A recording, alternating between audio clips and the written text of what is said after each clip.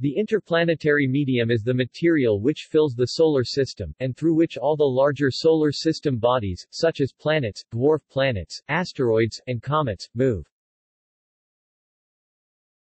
Composition and physical characteristics The interplanetary medium includes interplanetary dust, cosmic rays and hot plasma from the solar wind. The temperature of the interplanetary medium varies. For dust particles within the asteroid belt, typical temperatures range from 200 K minus 73 degrees Celsius at 2.2 astronomical units down to 165 K minus 108 degrees Celsius at 3.2 astronomical units. The density of the interplanetary medium is very low, about 5 particles per cc in the vicinity of the Earth. It decreases with increasing distance from the Sun, in inverse proportion to the square of the distance. It is variable, and may be affected by magnetic fields and events such as coronal mass ejections. It may rise to as high as 100 particles per cc. Since the interplanetary medium is a plasma, it has the characteristics of a plasma, rather than a simple gas, for example, it carries with it the Sun's magnetic field, is highly electrically conductive, resulting in the heliospheric current sheet, forms plasma double layers where it comes into contact with a planetary magnetosphere or at the heliopause, and exhibits filamentation, such as in aurorae. The plasma in the interplanetary medium is also responsible for the strength of the Sun.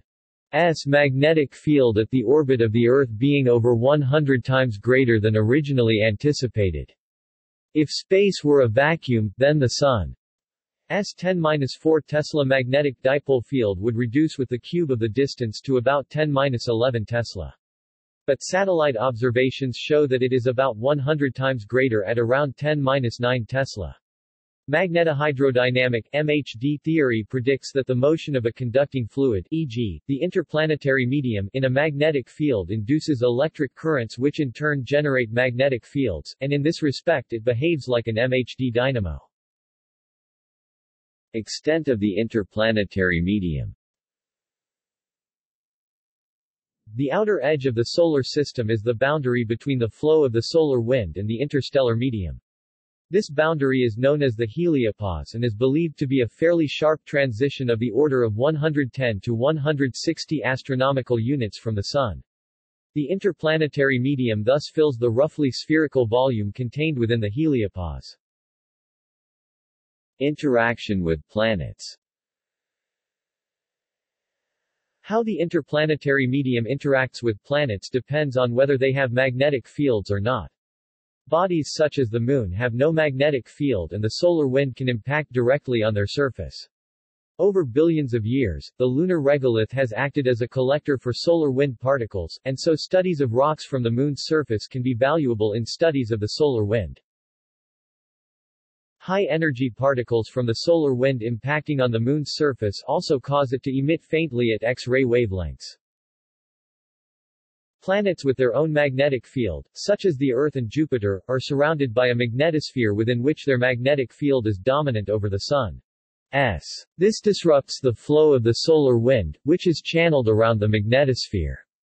Material from the solar wind can leak into the magnetosphere, causing aurorae and also populating the Van Allen belts with ionized material. Observable phenomena of the interplanetary medium The interplanetary medium is responsible for several effects which can be seen from Earth. The zodiacal light is a broad band of faint light sometimes seen after sunset and before sunrise, stretched along the ecliptic and brightest near the horizon. It is caused by sunlight scattering off dust particles in the interplanetary medium between the Earth and the Sun.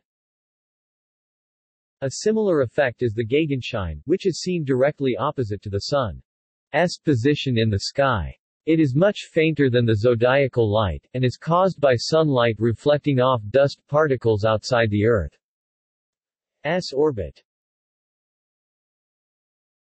History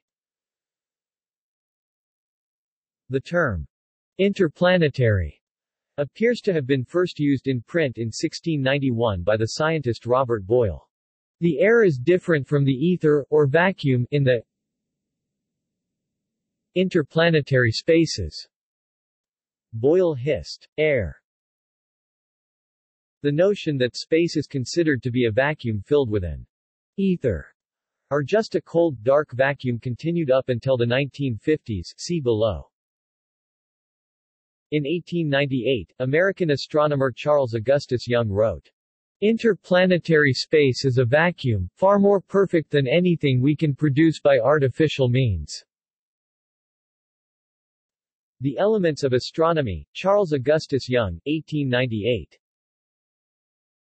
And Akasofu recounted that the view that interplanetary space is a vacuum into which the Sun intermittently emitted corpuscular streams was changed radically by Ludwig Biermann 1951-1953, who proposed on the basis of comet tails, that the Sun continuously blows its atmosphere out in all directions at supersonic speed. Syun-Ichi Akasofu, Exploring the Secrets of the Aurora 2002. Tufts University professor of astronomy, Kenneth R. Lang, writing in 2000 noted, Half a century ago, most people visualized our planet as a solitary sphere traveling in a cold dark vacuum of space around the Sun. See also Interplanetary space Interplanetary dust Interplanetary dust cloud. Interplanetary magnetic field. Interstellar space. Interstellar medium. Interstellar dust. Intergalactic space. Intergalactic medium. Intergalactic dust. List of plasma physics articles References. External links.